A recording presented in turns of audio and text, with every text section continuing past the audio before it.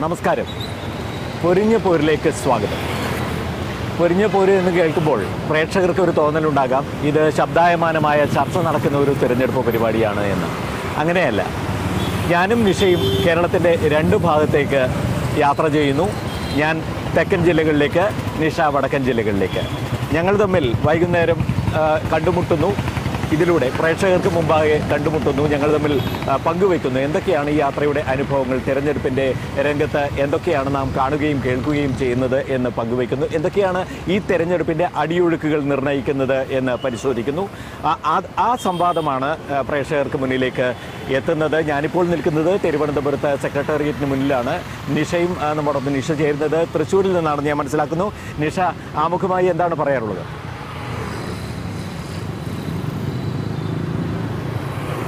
പ്രമോദ് പൂരനഗരിയിൽ നിന്ന് നമസ്കാരം.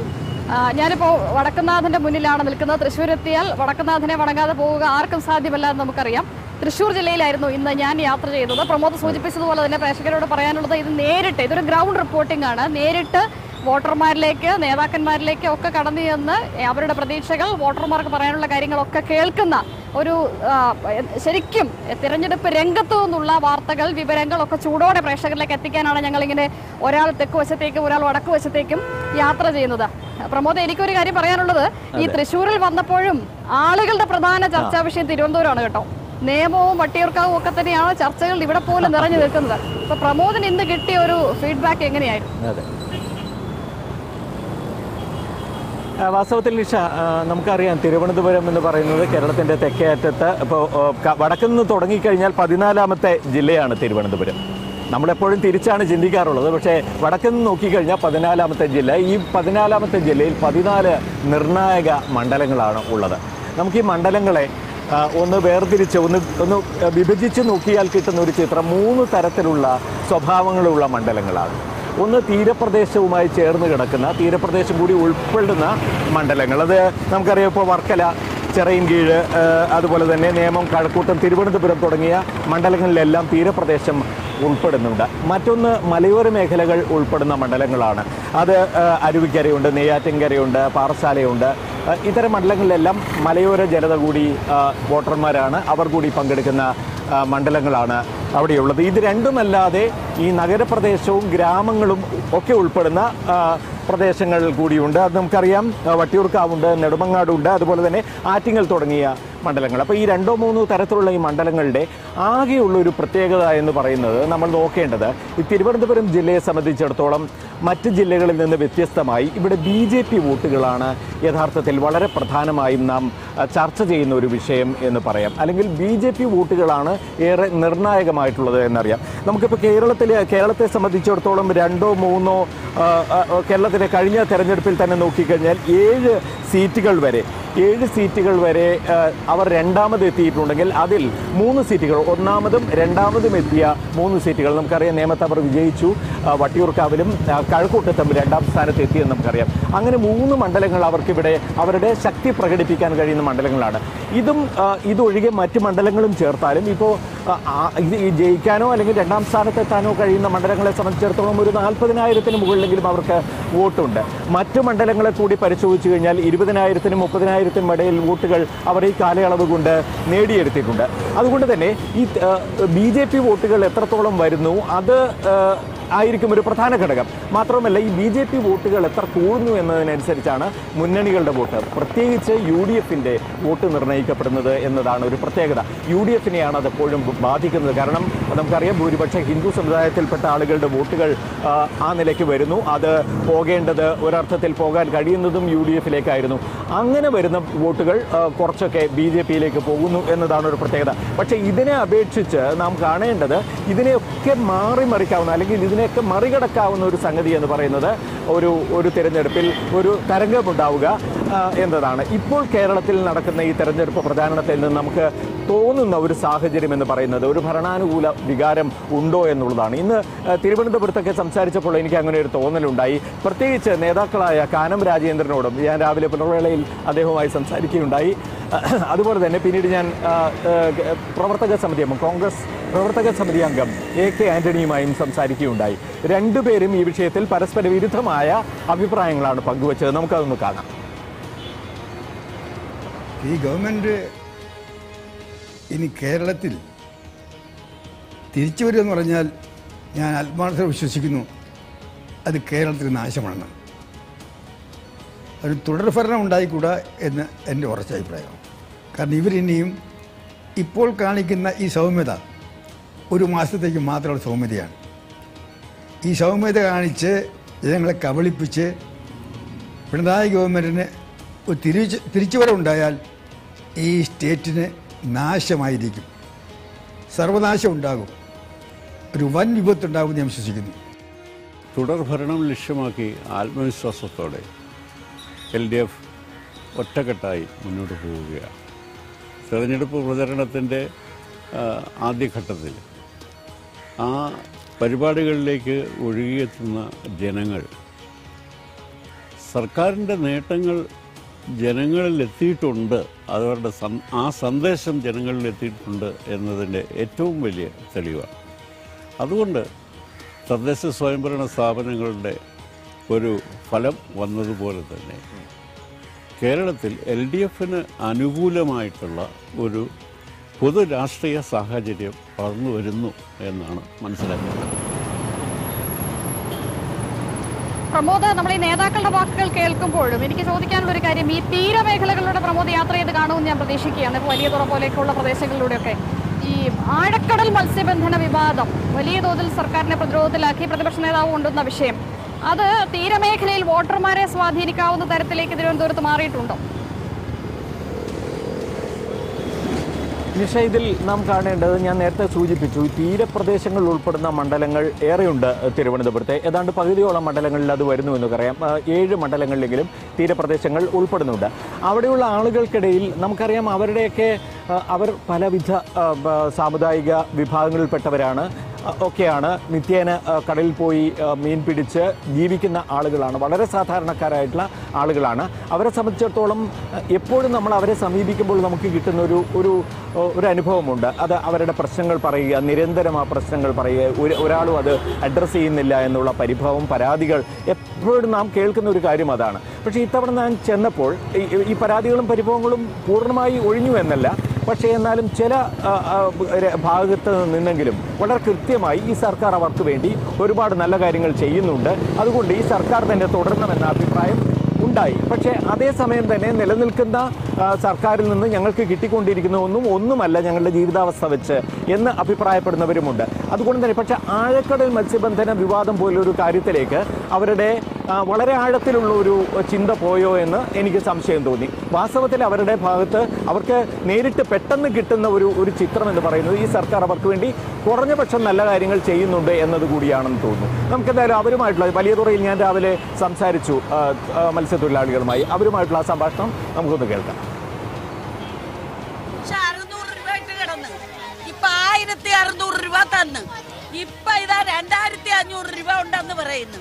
ഞങ്ങളുടെ വിശപ്പിന് അവർ തന്നോണ്ടിരിക്കുന്നത് മാസത്തിൽ ഒരു കിറ്റ് അവർ കറക്റ്റ് ആയിട്ട് തരുന്നു. ആ ഞങ്ങൾ അവർക്ക് ഞങ്ങൾ വോട്ട് ഉമ്മൻചാണ്ടി സർക്കാർ വരണം. വന്നേ പറ്റുള്ളൂ. കാര്യം ഇവിടെ മടത്തിന് പടത്തിന് വേണ്ടി നിൽക്കുന്നവരാണ്. ഈ പറയുന്നതിലൊക്കെ പടത്തിന് വേണ്ടി നിൽക്കുന്നവരാണ്. ഒരു വീടുണ്ട്. എലിതുണ്ട്. ഉമ്മൻചാണ്ടി സർക്കാർ ഉണ്ടെങ്കിൽ ഞങ്ങൾക്ക് സഹായിക്കും. വീട് കണ്ട്. ഇപ്പൊ ഇവിടെ മത്സ്യത്തൊഴിലാളി ഒന്നടങ്ങ് നിൽക്കുന്നത് ആനന്ദ് രാജിന് വേണ്ടിയിട്ടാണ്. സാറേ കാരണം ഇടതുപക്ഷം ഭരണത്തിൽ വരണം. അങ്ങനെയാണ് ഞങ്ങളെല്ലാം പൂന്തറ മുതൽ സ്ഥാനാർത്ഥിയെ നോക്കിയല്ല പക്ഷേ ഇല്ല ഇല്ല ഇല്ല. വരണം വരണം വരണം വരണം സ്ഥാനാർത്ഥി ഞങ്ങൾക്ക് വേണം രണ്ട് രണ്ടു തവണ രണ്ടു തവണ രണ്ടു തവണ ശിവകുമാർ ജയിച്ച് ഒരു ഫലവും ഞങ്ങൾക്ക് കിട്ടിയിട്ടില്ല. ഇവിടെ വന്ന് തീരത്ത് നോക്കിയില്ല തീരത്ത് ഇതുവരെ വന്ന് നോക്കിയില്ല. കല്ലിന് വേണ്ടി കല്ലിന് വേണ്ടി പോയിട്ട് അയാൾ തിരിഞ്ഞു നോക്കിയില്ല. ഞാൻ ഇടദോഷക്കാരാണ് കമ്മ്യൂണിസ്റ്റുകാരാണ് എന്റെ ഓർമ്മ വെച്ച കാലത്തോട്ട് ഞാൻ കമ്മ്യൂണിസ്റ്റിന് വോട്ട് ചെയ്യുന്ന ആളാണ്. പാർട്ടി സീറ്റ് കൊടുത്തിട്ട് ഇവർ ജയിച്ചു കഴിഞ്ഞാൽ ആ നാട്ടിൽ പിന്നെ കാണുന്നില്ല. അപ്പോൾ എനിക്ക് തോന്നി ഇപ്പം തീരപ്രദേശത്തെ ആളുകളുടെ പ്രതികരണം നമ്മൾ കേട്ടു. അതുപോലെ തന്നെ തിരുവനന്തപുരത്ത് വളരെ പ്രധാനപ്പെട്ട മുമ്പൊക്കെ ഞാൻ തിരഞ്ഞെടുപ്പ് റിപ്പോർട്ട് ചെയ്യാനൊക്കെ തിരുവനന്തപുരത്ത് പോകുമ്പോൾ നാടാർ സമുദായത്തിന്റെ വോട്ട് അല്ലെ? തിരുവനന്തപുരം മണ്ഡലത്തിൽ തിരുവനന്തപുരം ജില്ലയിൽ പല പ്രദേശങ്ങളിലും പല മണ്ഡലങ്ങളിലും വളരെ നിർണായകമാണ്. ഇപ്പം എനിക്ക് തോന്നുന്നു അരുവിക്കര ഞാൻ പറയുന്നത് ശരിയാണെന്ന് ഞാൻ വിചാരിക്കുന്നു അരുവിക്കര പോലുള്ള മണ്ഡലങ്ങളിലൊക്കെ തന്നെ. അപ്പം അവിടെ ഈ നാടാർ സമുദായം ഏതെങ്കിലും ഒരു പ്രത്യേക മുന്നണിക്കൊപ്പം ഇക്കുറി നിൽക്കാനുള്ള സാധ്യതയുണ്ടോ പ്രമോദ്? നിഷ പറഞ്ഞത് ശരിയാണ്. അതായത് നമുക്ക് തിരുവനന്തപുരത്തെ മണ്ഡലങ്ങൾ എടുക്കുന്നു എടുത്തു നോക്കുമ്പോൾ പ്രത്യേകിച്ച് ഈ മലയോര മണ്ഡലങ്ങളെന്ന് ഞാൻ നേരത്തെ സൂചിപ്പിച്ച മണ്ഡലങ്ങൾ അരുവിക്കര നെയ്യാറ്റിൻകര അതുപോലെ തന്നെ കോവളം പാറശാല തുടങ്ങിയ മണ്ഡലങ്ങളിലൊക്കെ തന്നെ നല്ല തോതിൽ നാടാർ വോട്ടുകളുണ്ട്.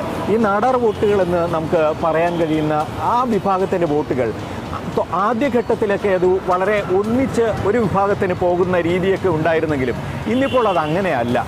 നാടാർ വിഭാഗത്തിന്റെ വോട്ട് നാടാർ സ്ഥാനാർത്ഥികൾ ഉണ്ടെങ്കിൽ തീർച്ചയായും ഒരുപക്ഷെ അതിനനുകൂലമായ ഒരു നിലപാട് ആ വിഭാഗത്തിൽ നിന്ന് ആളുകൾ എടുക്കുന്നുണ്ടാകാം. പക്ഷേ അതല്ലെങ്കിൽ അവരുടെ നിലപാട് വരുന്നത് പല രീതിയിലുമാണ്. കാരണം ഈ നാടാർ വിഭാഗത്തിൽ തന്നെ ഇപ്പോൾ ക്രിസ്ത്യൻ നാടാർ എന്ന് പറഞ്ഞ് എൽ സി നാടാർ മലങ്കര നാടാർ അങ്ങനെയൊക്കെയുള്ള ഉപവിഭാഗങ്ങൾ ധാരാളമുണ്ട് എന്ന് നമുക്കറിയാം. അപ്പോൾ ആ ഉപവിഭാഗങ്ങളടക്കം ഈ ഈ കാര്യത്തിൽ ഒരു തീരുമാനമെടുക്കുന്നതിന് അവരെ അവരെ കൂടി സ്വാധീനിക്കുന്ന ചില ഘടകങ്ങൾ ഉണ്ടായേ തീരും. ഇപ്പോൾ അത് ആ നിലയിൽ നോക്കുകയാണെങ്കിൽ എൽ ഡി എഫ് ഇത്തവണ എടുത്തിട്ടുള്ള ഒന്ന് രണ്ട് നടപടികൾ നമുക്കൊന്ന് പരിശോധിക്കാവുന്നതാണ്. ഇപ്പോൾ അരുവിക്കര ഒരു മണ്ഡലത്തിൽ നിഷ സൂചിപ്പിച്ചു. നാടാർ വോട്ട് കാര്യമായുള്ളതാണ് ഇപ്പോൾ രണ്ടായിരത്തി പതിനഞ്ചിൽ ഉപതെരഞ്ഞെടുപ്പിൽ ശബരിനാഥ് വിജയിച്ചപ്പോഴും തുടർന്ന് അദ്ദേഹം രണ്ടായിരത്തി പത്തൊൻപതിൽ ക്ഷമിക്കണം രണ്ടായിരത്തി പതിനാറിൽ വിജയിച്ചപ്പോഴും ഒക്കെ വളരെ നിർണായകമായി തീർന്നത് ഈ നാടാർ വോട്ടുകൾ തന്നെയാണ്. നാടാർ വോട്ടുകളുടെ പിന്തുണ മിക്കവാറും ശബരിനാഥൻ ഉണ്ടായിരുന്നു. പക്ഷേ ഇത്തവണ ജി സ്റ്റീഫൻ എന്ന സ്ഥാനാർത്ഥിയെ അതായത് കൃത്യമായും നാടാർ പക്ഷത്തു നിന്നുള്ള ഒരു സ്ഥാനാർത്ഥിയെ അവിടെ നിർത്തിക്കൊണ്ട് ഒരു ഒരു ഒരു തന്ത്രം പയറ്റുകയാണ് എൽ ഡി എഫ് എന്ന് പറയാം. അതിൽ ഏറ്റവും പ്രധാനമായി നാം കാണേണ്ടത് നാടാർ വിഭാഗങ്ങൾക്ക് പ്രത്യേകിച്ച് ഈ മലങ്കര നാടാർ വിഭാഗം അതുപോലെ തന്നെ പെന്തക്കോസ്റ്റ് തുടങ്ങിയ ചെറിയ ഉപവിഭാഗങ്ങൾക്ക് സർക്കാർ ഒരു സംവരണം കൂടി പുതുതായി നൽകു നൽകാനുള്ള തീരുമാനമെടുത്തിട്ടുണ്ട്. അത് വിജ്ഞാപനമായി പുറത്തു വന്നിട്ടില്ല ഇപ്പോഴും. എങ്കിൽ തന്നെയും മൂന്ന് ശതമാനം സംവരണം എന്നൊരു തീരുമാനമെടുത്തിട്ടുണ്ട്. ഈ തീരുമാനം എങ്ങനെ അവർ സ്വീകരിക്കുന്നു എന്നതിന്റെയും കൂടി അടിസ്ഥാനത്തിലായിരിക്കും അവിടുത്തെ വീഴ് വോട്ടുകൾ വീഴുക എന്ന് നമുക്കറിയാം. പക്ഷേ അവിടെ ഒരു പ്രശ്നമുള്ളത് ഈ നാടാർ വിഭാഗങ്ങൾക്ക് നേരത്തെ തന്നെ ഒ ബി സി വിഭാഗത്തിൽപ്പെടുത്തി നാല് ശതമാനം വരെ സംവരണം ലഭിക്കുന്നുണ്ടായിരുന്നു. എൽ സി നാടാർ വിഭാഗങ്ങൾക്കൊക്കെ നാല് ശതമാനം വരെ സംവരണം ലഭിക്കുന്നുണ്ടായിരുന്നു. ഒ ബി സി വിഭാഗത്തിൽ ഉൾപ്പെട്ടുകൊണ്ട്. ആ സംവരണത്തിൽ എത്ര കണ്ട്?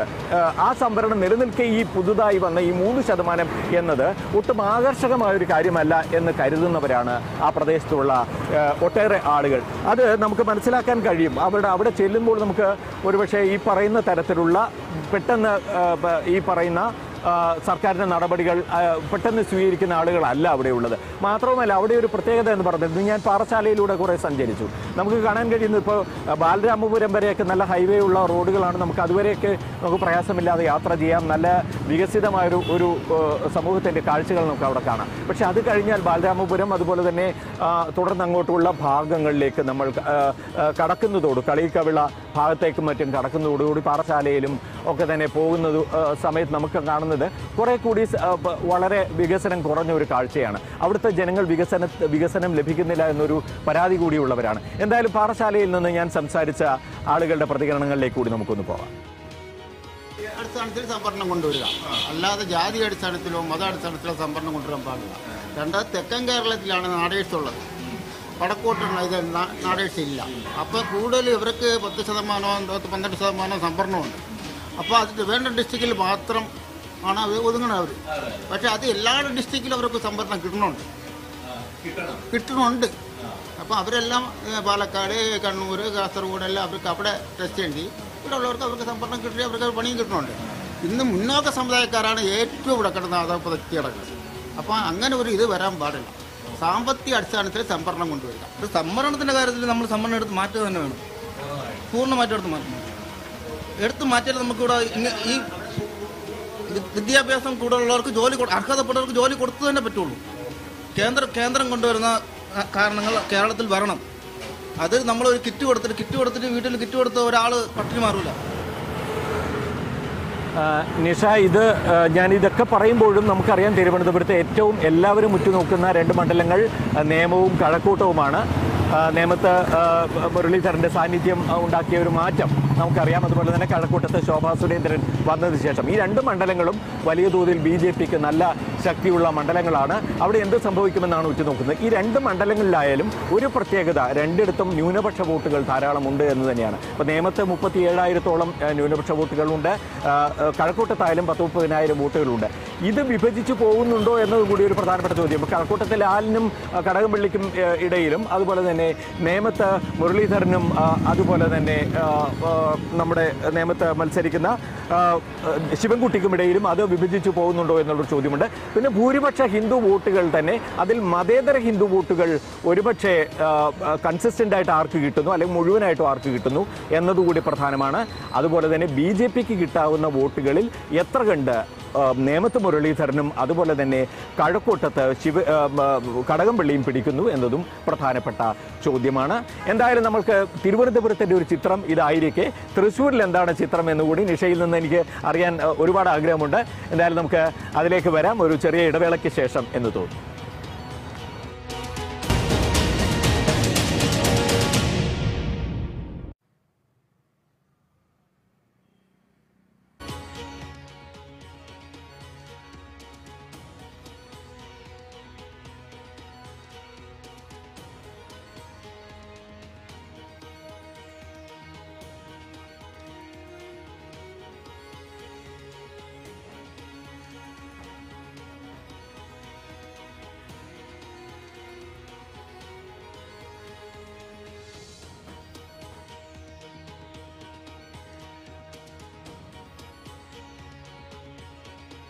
പ്രബോധ് നമുക്കറിയാം തൃശ്ശൂർ ജില്ല എന്ന് പറഞ്ഞാൽ പൊതുവെ കഴിഞ്ഞ തവണ പൂർണമായും ഏതാണ്ട് ഇടതുമുന്നണിക്കൊപ്പം നിന്നു എന്ന് പറയേണ്ടി വരുന്ന ഒരു ജില്ലയാണ്. പക്ഷേ യു ഡി എഫിലേക്ക് നോക്കിക്കഴിഞ്ഞാൽ കോൺഗ്രസ് പാർട്ടിക്ക് ഇപ്പം ഞാൻ ഈ നിൽക്കുന്ന തൃശ്ശൂർ നഗരം തന്നെ കോൺഗ്രസ് പാർട്ടിയെ സംബന്ധിച്ചിടത്തോളം വളരെ ആത്മബന്ധം ഉള്ള ഒരു പ്രദേശമാണ്. കാരണം കെ കരുണാകരന്റെ നാടാണ് തൃശ്ശൂർ. അദ്ദേഹത്തിന് വലിയ സ്വാധീനമുണ്ടായിരുന്ന നാടാണ് തൃശ്ശൂർ. അതുകൊണ്ട് തന്നെ എല്ലാ കാലത്തും പിന്നെ ന്യൂനപക്ഷ സമുദായങ്ങളുടെ വലിയ തോതിലുള്ള സ്വാധീനം ഇതുകൊണ്ടൊക്കെ യു ഡി എഫ് വലിയ പ്രതീക്ഷ വെച്ച് പുലർത്തുന്ന ജില്ലയാണ് തൃശ്ശൂർ ജില്ല എന്ന് നമുക്കറിയാം. കഴിഞ്ഞ തവണ ആ പ്രതീക്ഷകളെല്ലാം കൈവിട്ട് പോയെങ്കിൽ കൂടി. പക്ഷേ ഇക്കുറി നേതാക്കളോടും അതുപോലെ തന്നെ പ്രവർത്തകരോടും ഒക്കെ സംസാരിച്ചപ്പോൾ അവരെല്ലാം വലിയൊരു തിരിച്ചുവരവ് പ്രതീക്ഷിക്കുന്നുണ്ടായതാണ് ഞങ്ങൾ ഇന്ന് ആദ്യം യാത്ര തുടങ്ങിയത് ഈ തൃശൂർ നിയമസഭാ മണ്ഡലത്തിൽ തന്നെയായിരുന്നു. ഇവിടെയും തിരുവനന്തപുരം പോലെ ഒരു പ്രത്യേകതയുണ്ട്. ബി ജെ പി വലിയ പ്രതീക്ഷ വെച്ച് പുലർത്തുന്ന മണ്ഡലമാണ് തൃശൂർ നിയമസഭാ മണ്ഡലം. ഇവിടെ ഇത്തവണ സുരേഷ് ഗോപിയെ തന്നെ മത്സരിപ്പിക്കാൻ തീരുമാനിച്ചതും അങ്ങനെ ഒരു പ്രതീക്ഷ വെച്ച് പുലർത്തുന്നതുകൊണ്ടാണ്. ഈ കഴിഞ്ഞ ലോക്സഭാ തെരഞ്ഞെടുപ്പിൽ സുരേഷ് ഗോപി തൃശൂരിലെ നിയമസഭാ മണ്ഡലങ്ങളിൽ രണ്ടാമതെത്തിയ നിയമസഭാ മണ്ഡലമാണ് തൃശൂർ അപ്പൊ അദ്ദേഹത്തിന് അങ്ങനെ ഒരു വലിയ പ്രതീക്ഷ ഉള്ളതുകൊണ്ടുകൂടിയാണ് തൃശൂർ തന്നെ അദ്ദേഹത്തെ മത്സരിപ്പിക്കാൻ പാർട്ടി തിരഞ്ഞെടുത്തത്. എതിർ സ്ഥാനാർത്ഥികളിൽ ഒരാൾ നമുക്കറിയാം. ഞാൻ നേരത്തെ പറഞ്ഞ കെ കരുണാകരൻ മകൾ പത്മജയാണ്. പത്മജയ്ക്ക് തൃശ്ശൂരിനോട് വല്ലാത്തൊരു ആത്മബന്ധമുണ്ട്. അവരത് പറയുന്നുണ്ട്. ഈ ബാലചന്ദ്രനാണ് എൽ ഡി എഫ് സ്ഥാനാർത്ഥി. അപ്പോ പത്മജ വേണുഗോപാലുമായി സംസാരിക്കുമ്പോൾ അവർ പറയുന്നത് പ്രമോദ് നേരത്തെ പറഞ്ഞ നമ്മൾ ചോദിക്കുന്നത് മുഖ്യമന്ത്രിക്ക് അനുകൂലമായ സർക്കാരിന് അനുകൂലമായ വലിയ ജനവികാരം ഉണ്ടല്ലോ എന്ന് ചോദിച്ചപ്പോൾ അവർ പറഞ്ഞത് ഒരിക്കലും അങ്ങനെയല്ല. ഞാൻ സ്ത്രീകളോടക്കം സംസാരിക്കുമ്പോൾ അവരാരും അങ്ങനെയൊന്നും പറയുന്നില്ല. അതുകൊണ്ട് തന്നെ പത്മജ വേണുഗോപാൽ ഉറപ്പിച്ച് പറയുന്നു താനും തന്റെ സഹോദരനും ജയിച്ചു വരും ഈ നിയമസഭാ തെരഞ്ഞെടുപ്പിൽ എന്ന് പറഞ്ഞു. സുരേഷ് ഗോപിയാണ് ആദ്യം കണ്ടത്. ഞാൻ അദ്ദേഹത്തോട് ചോദിച്ചു ഇത്തവണ ഇനി തൃശ്ശൂർ അങ്ങ് എടുക്കുവാണോ എന്ന് ചോദിച്ചപ്പോൾ ഞാൻ എടുക്കേണ്ട കാര്യമില്ല. ആളുകൾ ഇങ്ങ് തരാൻ തീരുമാനിച്ചിരിക്കുന്നു എന്നാണ് പറഞ്ഞത്.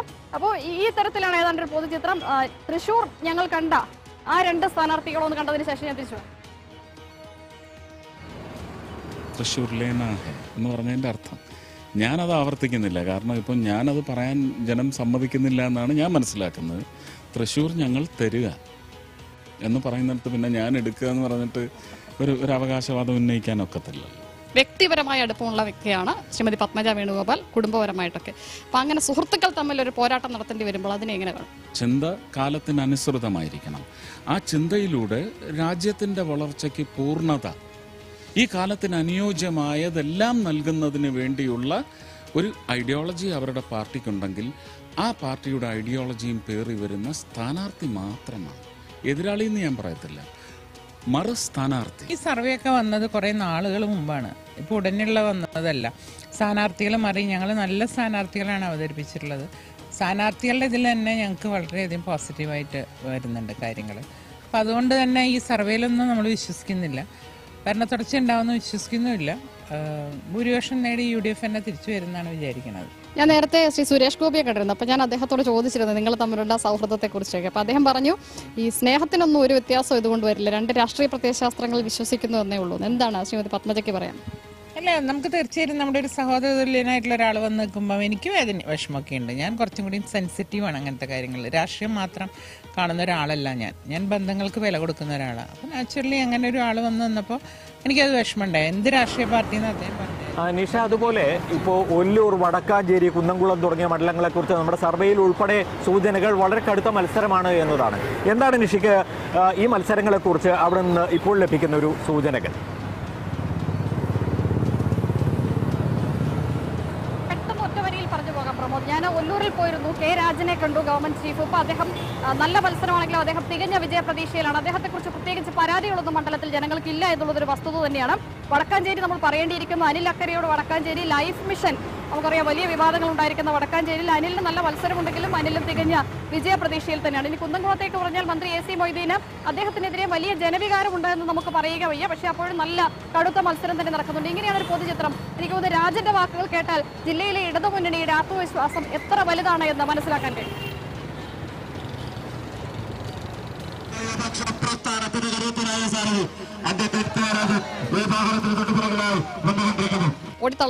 ഏയ് ഓടിത്തളർന്ന പ്രശ്നമില്ല. അഞ്ചു വർഷം ഈ ഓട്ടായിരുന്നു. അതുകൊണ്ട് ഒരു പുത്തൻ അനുഭവമായിട്ട് തോന്നുന്നില്ല. എങ്ങനെയുണ്ട് ഒല്ലൂരിൽ നല്ല വാശിയുള്ള മത്സരമാണോ? വാശിയുള്ള മത്സരമാണ്. എല്ലാവരും മത്സരിക്കുന്നവരെല്ലാവർക്കും നല്ല വാശിയുണ്ട്. പക്ഷെ വിജയം ഞങ്ങൾ ഉറപ്പായിട്ട് പ്രതീക്ഷിക്കുന്നു. വലിയ ഭൂരിപക്ഷത്തോടെ. ഒല്ലൂര് പൊതുവെ ഇങ്ങനെ മുന്നണികളെ മാറി മാറി പിന്തുണയ്ക്കുന്ന ഒരു പാരമ്പര്യമുണ്ട്. അത് ആശങ്കപ്പെടുത്തുന്നുണ്ട്? അത് കണക്ക് തെറ്റാണ്. ആ കണക്ക് കൃത്യമായിട്ട് അറിയാതെയാണ്. കണക്ക് ഒല്ലൂരിൽ കഴിഞ്ഞ തൊണ്ണൂറ്റൊന്നിന് ശേഷം എല്ലാ തെരഞ്ഞെടുപ്പിലും അതിനു മുമ്പ് പാരമ്പര്യം അതല്ല പക്ഷെ തൊണ്ണൂറ്റൊന്നിന് ശേഷം എല്ലാ തെരഞ്ഞെടുപ്പിലും നിയമസഭയിൽ മാറി മാറി വരാറുണ്ട്. പക്ഷെ നിഷ ഇപ്പോൾ കാണാതെ പോയൊരു കാര്യം എല്ലാ തദ്ദേശ സ്വയംഭരണ സ്ഥാപന തെരഞ്ഞെടുപ്പിലും മാറി മാറി വരാറുണ്ട്. പക്ഷെ രണ്ടായിരത്തി പതിനഞ്ചിലെ തെരഞ്ഞെടുപ്പിലുണ്ടായ വിജയം അതിനേക്കാൾ ഭയങ്കരമായി ഞങ്ങൾ ആവർത്തിച്ചു. അതുകൊണ്ട് തന്നെ നിഷ നിഷ ഇതുപോലെ തന്നെ ഇന്ന് പ്രതിപക്ഷ നേതാവിനെ നിഷ അവിടെ വെച്ച് കാണുകയുണ്ടായല്ലോ. എന്താണ് അദ്ദേഹം പൊതുവിൽ അദ്ദേഹത്തിന്റെ പ്രതീക്ഷകളും ഒപ്പം തന്നെ അദ്ദേഹം ഈ സർവേകളെ കുറിച്ചൊക്കെ പറഞ്ഞത് എന്താണ്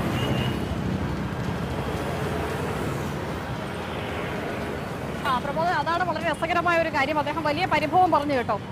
ഈ സർവേകളെ കുറിച്ച് പ്രതിപക്ഷത്തിന് വേണ്ട റോളൊന്നും തരുന്നില്ല മാധ്യമങ്ങളെന്ന് പറഞ്ഞു. എനിക്ക് തോന്നുന്നു നമുക്കതൊന്ന് കേൾക്കേണ്ടിയിരിക്കുന്നു. അത് നമുക്ക് അദ്ദേഹത്തിന്റെ വാക്കുകളെ നമ്മൾ ഉൾക്കൊള്ളുന്നു എന്ന് ഞാൻ അദ്ദേഹത്തോട് പറയുകയും ചെയ്തു. പൊതുവായിട്ടുള്ള ഒരു അന്തരീക്ഷം യു ഡി എഫിന് അനുകൂലമാണ്. നല്ല വിജയമുണ്ടാകും എന്ന പ്രതീക്ഷയാണ്. ഒരു കംഫർട്ടബിൾ മെജോറിറ്റിയിൽ കേരളത്തിൽ യു ഡി എഫ് ഭരണം വരാനുള്ള സാഹചര്യമാണുള്ളത്. ഒരു ഭരണമാറ്റം ജനങ്ങൾ ആഗ്രഹിക്കുന്നു. ഏകാധിപത്യ പ്രവണതകളും അഹങ്കാരവും മാത്രം കൈമുതലായിട്ടുണ്ട ഒരു ഭരണം മാറി ഒരു ജനാധിപത്യ ഭരണക്രമം കേരളത്തിൽ ഉണ്ടാകണമെന്ന് ജനങ്ങൾ ആഗ്രഹിക്കുന്നു. ഭരണ തുടർച്ച എന്നുള്ളത് അത് പി ആർ ഏജൻസികളുടെ ഒരു വർക്കാണ്. പണം കൊടുത്താൽ ഏത് പ്രചരണവും നടത്താൻ നമ്മുടെ നാട്ടിൽ പാടില്ലല്ലോ. അതിന്റെ ഭാഗമാണ് ഈ സർവേകളൊക്കെ. നാട്ടിലൊട്ടാകെ പണക്കൊഴുപ്പാണ് കാണാൻ കഴിയുന്നത്. അഴിമതി പണം ഉള്ളതുകൊണ്ട് ധാരാളം ഫ്ലക്സ് ബോർഡുകളും ബോർഡുകളും പരസ്യങ്ങളും അവർ നൽകുന്നുണ്ട് എന്നുള്ളതിനപ്പുറത്ത് ഒരു ശാരീരിക ഓക്കെ നിഷ നമ്മൾ കരുതിയിലും കുറച്ചധികം നീണ്ടുപോയി ഇന്നത്തെ ഈ സംഭാഷണം. എന്നാൽ തന്നെയും നമുക്ക് രണ്ട് ജില്ലകളെ കുറിച്ചുള്ള വ്യക്തമായ ഒരു ചിത്രം പ്രേക്ഷകർക്ക് നൽകാൻ കഴിഞ്ഞു എന്ന് വിശ്വസിക്കുന്നു. നാളെ ഞാൻ കൊല്ലത്തേക്ക് നീങ്ങുകയാണ്. നിഷ എങ്ങോട്ടാണ് നാളെ ഞാൻ പാലക്കാടേക്കാണ് നാളെ പോകുന്നത് പാലക്കാട് നാളെ രാഹുൽ ഗാന്ധിയുടെ പ്രചാരണമുണ്ട്. അതുപോലെ തന്നെ തൃത്താലയിൽ പൊരിഞ്ഞ പോരാട്ടം നടക്കുന്ന. എം പി രാജേഷിന്റെ മറ്റു മണ്ഡലം. അങ്ങനെ പല സ്ഥലങ്ങളിലൂടെ അതുപോലെ തന്നെ നമ്മുടെ മെട്രോമാന്റെ മണ്ഡലം അവിടെയൊക്കെ യാത്ര ചെയ്യേണ്ടിയിരിക്കുന്നു തീർച്ചയായും ഈ പരിപാടി അതായത് പൊരിഞ്ഞു പോര് നാളെയും തുടരും. പൊരിഞ്ഞപോര് പൊരിഞ്ഞു പോര് നടക്കുന്ന മണ്ഡലങ്ങളിലൂടെയുള്ള എന്റെ നിഷയുടെയും യാത്ര നാളെ വീണ്ടും രാത്രി ഒൻപത്